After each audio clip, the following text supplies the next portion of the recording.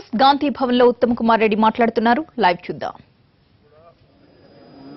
తెలంగాణ సమాజంలో ఒక గౌరవమైన స్థానం. వారు వారి కుటుంబ పోషణకి ఎటువంటి ఇబ్బందులు లేకుండా ఉండే విధంగా రాబోయే కాంగ్రెస్ ప్రభుత్వం చర్యలు తీసుకుంటుందని చెప్పి ఈరోజు స్పష్టమైన హామీ ఇస్తున్నాం. అది మా మేనిఫెస్టోలో ఉంటుంది. రాబోయే ప్రభుత్వ విధానం కూడా మనం చేస్తున్నాను. ఏ బాబు బాబు. హలో. బయటకు ఆయన ఆయన ఆడ పిఆర్ ఆయన ఆపుతున్నామేంది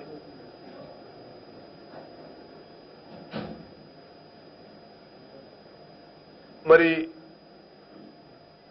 దేశ చట్టాలలో అనేక సంవత్సరాలుగా దేశ రక్షణ శాఖ కొన్ని గైడ్ లైన్స్ ఇస్తూ వచ్చింది మాజీ సైనికుల సంక్షేమ విషయంలో. కానీ అది తెలంగాణ రాష్ట్రంలో అమలు కావడం లేదు. ఒకటి మాజీ సైనికులకు చట్టపరంగా హౌస్ ప్లాట్స్ రాష్ట్ర ప్రభుత్వాలు ఇవ్వాలి. ప్రస్తుతం ఇవ్వడం లేదు. రాబోయే కాంగ్రెస్ ప్రభుత్వంలో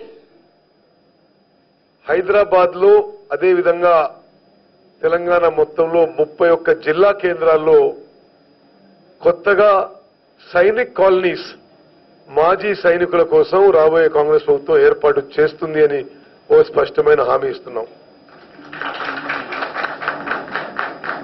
అదేవిధంగా చట్టపరంగా వాళ్ళకి కేంద్ర ప్రభుత్వం ఇచ్చిన గైడ్ లైన్స్ మేరకు అందులో సర్వీస్ చేసిన వాళ్ళకి ఐదు ఎకరాల వ్యవసాయ పొలం ఇవ్వాలని చెప్పి కేంద్ర ప్రభుత్వం యొక్క లిఖితపూర్వమైన చట్టాలు గైడ్ లైన్స్ ఉన్నాయి. కానీ అది తెలంగాణ రాష్ట్రంలో అసలు జరగలే. తప్పనిసరిగా మాజీ సైనికులకు ఐదు ఎకరాల వ్యవసాయ పొలం కేంద్ర ప్రభుత్వం యొక్క గైడ్ లైన్స్ మేరకు రాబోయే తెలంగాణ రాష్ట్రంలో కాంగ్రెస్ ప్రభుత్వం ఇవ్వబోతున్నది అని స్పష్టమైన హామీ ఇస్తున్నాం. అదేవిధంగా స్వాతంత్రం నుంచి అనేక సందర్భాల్లో కేంద్ర ప్రభుత్వాలు మాజీ సైనికుల పట్ల రాష్ట్ర ప్రభుత్వం రాష్ట్ర ప్రభుత్వాలు ఏ పాలసీస్ వాళ్ళ వెల్ఫేర్కి వారి రిహాబిలిటేషన్ ఏం చేయాలని ఇస్తుంటాయి అది తెలంగాణలో జరగడం లేదు. తప్పనిసరిగా we will implement government schemes and policies towards rehabilitation and resettlement of ex on highest priority అదేవిధంగా మేము ఇళ్ళ స్థలాలు ఇవ్వడమే కాదు ఇతర బీపీఎల్ కుటుంబాలకి ఇవ్వబోతున్నట్టుగా ప్రతి ఎక్స్ సర్వీస్ మెన్కి ఇల్లు కట్టుకోవడానికి ఐదు లక్షల రూపాయలు మరి హౌసింగ్ స్కీమ్లో ఇవ్వబోతున్నాం. మరో మరో ఐదు లక్షల రూపాయలు బ్యాంక్ లోన్ కింద వడ్డీ భారం రాబోయే కాంగ్రెస్ ప్రభుత్వం ప్రభుత్వమే భరిస్తుంది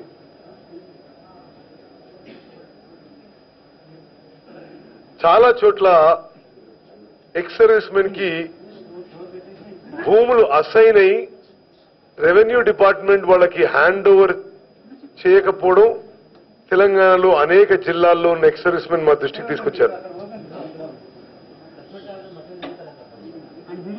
One of the policies of the next Congress government will be to assign the government land to the ex servicemen who already been allotted but not been given position by the revenue department.